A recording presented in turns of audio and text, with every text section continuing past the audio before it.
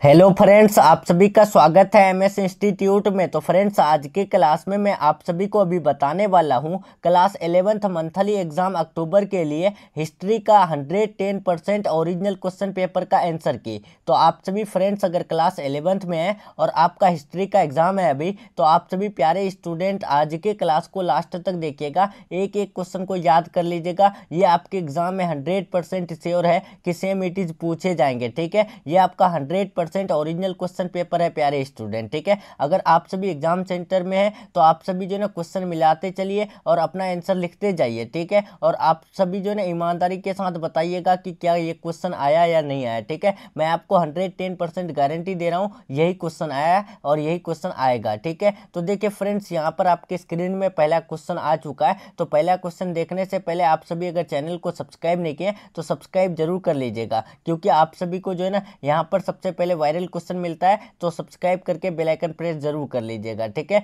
और आप सभी का फाइनल बोर्ड परीक्षा का भी तैयारी इसी चैनल पर कराया जाता है तो सब्सक्राइब करके बेल आइकन प्रेस करके रखिएगा। तो देखिए, पहला क्वेश्चन यहाँ पूछा गया फ्रेंड्स, की हिजरी सन की शुरुआत कब हुई थी? तो आप सभी जो है ना, एक का राइट आंसर बी लगा लीजिएगा छः में, ठीक है? दूसरा नंबर देखिए, पैगंबर मोहम्मद जो है, किस वली से संबंधित है? तो आप, किस कबीले से? तो आप याद रखिएगा, दो का राइट आंसर, ऑप्शन नंबर जो है ना, डी हो जाएगा, इनमें से कोई नहीं। तीसरा नंबर देखिए यहाँ पर कि अरबों ने जेरूसलम को कब जीता? तो तीसरा का राइट आंसर आप सभी जो है ना सी लगा के आइएगा छः ईस्वी में, ठीक है? Hundred ten percent original question paper है, ठीक है? रट लीजिए आप सभी और सब्जेक्टिव क्वेश्चन के लिए टेलीग्राम चैनल ज्वाइन कर लीजिएगा। देखिए, चार नंबर क्वेश्चन पैगम मोहम्मद ने किसका प्रचार किया? पैगंबर मोहम्मद ने जो है, किसका प्रचार किया था? तो चार का राइट आंसर डी लगा लीजिएगा, इनमें से कोई नहीं। पाँच नंबर देखिए, गैर मुसलमानों को क्या कहा जाता है? तो क्या कहा जाता था, ठीक है? तो राइट आंसर इनमें से कोई नहीं होगा। ठीक है अब उसके बाद छः नंबर देख लीजिए। कुरान की रचना किस भाषा में की गई थी?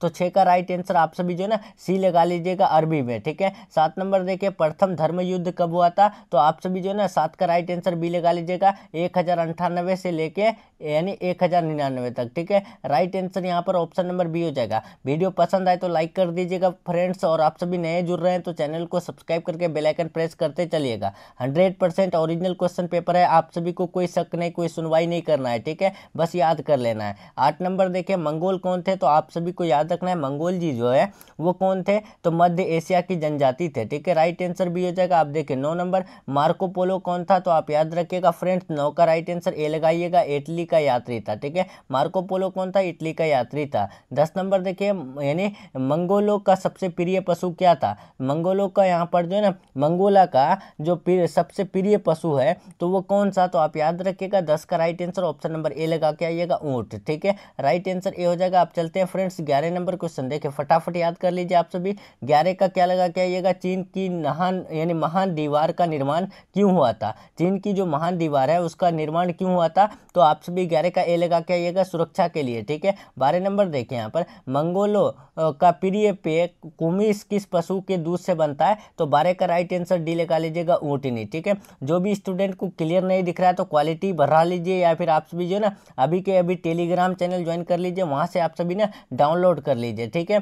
देखिए फ्रेंड्स यहाँ पर तेरह नंबर मंगोल चीन से यानी क्या आयात करते थे तो आप सभी याद रखेगा मंगोल चीन से कच्चा तेल जो है ना आयात करते थे, ठीक है? तेरह का सी हो जाएगा। चौदह नंबर देखिए फटाफट, चौदह का क्या है कि याम क्या था? याम जो थे, वो क्या थे? तो आप सभी याद रखेगा, धार्मिक संगठन थे, ठीक है? पंद्रह नंबर देखिए यानी यहाँ पर पूछा गया किरिलताई क्या था? तो आप सभी याद रखिएगा किरिलताई जो है ना, वो क्या थे? तो पंद्रह का डी हो जाएगा यहाँ पर ऑप्शन नंबर डी लगा के आ जाइएगा। यहाँ पर क्या है? मंगोल ममरा की एक सभा, ठीक है? राइट आंसर लगा दीजिएगा डी, ठीक है? अब देखिए, सोलह नंबर।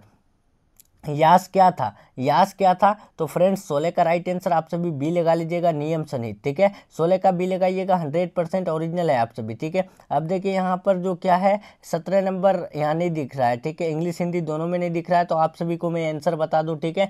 देखिए, सत्रह का राइट आंसर सी लगा के आइएगा चारागा भूमि ठीक है? सत्रह का सी लगाइएगा आप सभी, और जो भी स्टूडेंट एग्ज़ाम सेंटर में है, और एग्ज़ाम यानी मेरे साथ साथ जो है पेपर के साथ साथ आप सभी क्या कर रहे हैं? आंसर लिख रहे हैं तो आप सभी ईमानदारी के साथ एक प्यारा सा कमेंट कीजिएगा कि हमारा क्वेश्चन आया या नहीं आया, ठीक है? सत्रह नंबर देखिए यहाँ पर, सत्रह का क्या होगा? तो फ्रेंड्स ऑप्शन नंबर सी लगा दीजिएगा, बता दिया आपको। अठारह नंबर देखे चंगेज खां के बचपन का क्या नाम था? तो चंगेज खां के बचपन का नाम जो था ना, तेमुजीन था, ठीक है? राइट आंसर सी लगा लीजिएगा। आप देखिए उन्नीस नंबर, चंगेज खां का सेना को किस आधार पर संगठित किया गया था? तो उन्नीस का राइट आंसर आप सभी ऑप्शन नंबर ए लगा के आइएगा दशमलव इकाइया, ठीक है?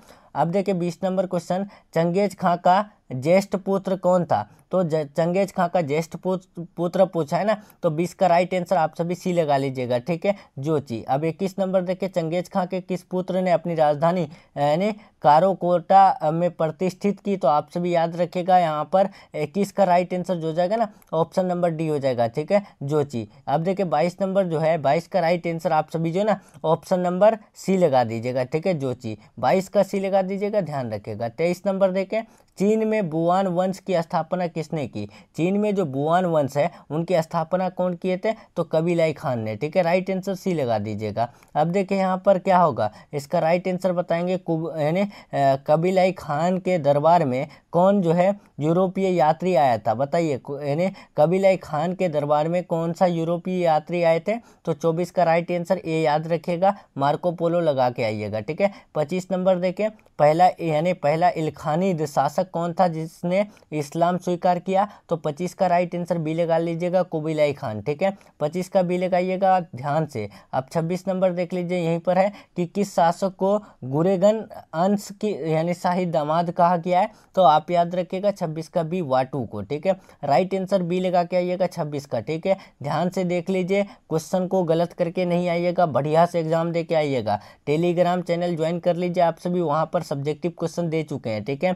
और आप सभी जो है ना, चैनल को सब्सक्राइब करके बेल आइकन प्रेस कर लीजिएगा। आप सभी को सबसे पहले वायरल क्वेश्चन इसी चैनल पर मिलता है। बाबर किसका वंश था? तो आप सभी सत्ताईस का राइट आंसर सी लगा दीजिएगा, ए और बी दोनों, यानी तैमूर और चंगेज खान जो है, बाबर जो है वंश था, ठीक है? अब देखें यहाँ पर अट्ठाईस नंबर 125 में मंगोल, यानी मंगलों ने किस शहर में यानी लूटपाट की? तो आप याद रखिएगा, यहाँ पर 28 का बी लगा दीजिएगा, बुखरा में, ठीक है? राइट आंसर बी हो जाएगा। उनतीस नंबर देखे, चंगेज खां की मृत्यु कब हुई? तो आप सभी उनतीस का डी लगा के आइएगा, बारह सौ अंठावन में, ठीक है? उनतीस का डी लगाइएगा ध्यान से। देखिए, कोई भी स्टूडेंट को अगर डाउट है कि नहीं आएगा क्वेश्चन या फिर आएगा या नहीं आएगा तो आप सभी को ऐसा नहीं सोचना है, बस याद कर लेना है, हंड्रेड देखने को मिलेगा, प्यारे स्टूडेंट, ठीक है? हम जो है आपको यहाँ पर फेक एक भी क्लास नहीं दिया हूँ, ठीक है? आप सभी देख सकते हैं, हमारे चैनल में एक भी फेक आप सभी को क्लास नहीं देखने को मिलेगा, ठीक है? कोई भी यानी क्लास का अगर पेपर देते हैं तो रियल ही देते हैं, ठीक है? रियल आएगा तो देंगे, नहीं आया है तो नहीं देते हैं, ठीक है? आप सभी जा कर के चेक कर सकते हैं। अब देखिए तीस नंबर, किस देश, चंगेज किस देश में चंगेज खां को महान राष्ट्रीय यानी नायक के रूप में मान्यता मिली है कौन से देश में? तो आप सभी फ्रेंड्स याद रखिएगा चीन में। चीन में जो है ना, चंगेज खां को मान राष्ट्रीय नायक के रूप में मान्यता मिली है, ठीक है? तो इसका ए लगा के आइएगा। तो चलिए फ्रेंड्स उम्मीद करते हैं आपको आज का क्लास अच्छा लगा है और आप सभी जो है ना अच्छा से एग्ज़ाम देकर आएँगे। ये तीस क्वेश्चन जो आपके एग्ज़ाम में पूछा गया है, ये मैं बता दिया आप सभी को। और सब्जेक्टिव क्वेश्चन के लिए आप सभी जो है ना टेलीग्राम चैनल ज्वाइन कर लीजिए। लिंक डिस्क्रिप्शन बॉक्स में दिया हुआ है, ठीक है? लिंक पर क्लिक कीजिएगा और ज्वाइन कीजिएगा। वहाँ पर आप सभी को सब्जेक्टिव क्वेश्चन देखने को मिलेगा। वहाँ से आप सभी ज़रूर ज्वाइन कर लीजिएगा, ठीक है? तो चलिए फ्रेंड्स, हम लोग मिलते हैं नेक्स्ट क्लास में, नेक्स्ट टॉपिक के साथ। तब तक के लिए अपना ख्याल रखें, अपना स्टडी जारी रखें। Take care, thanks for watching.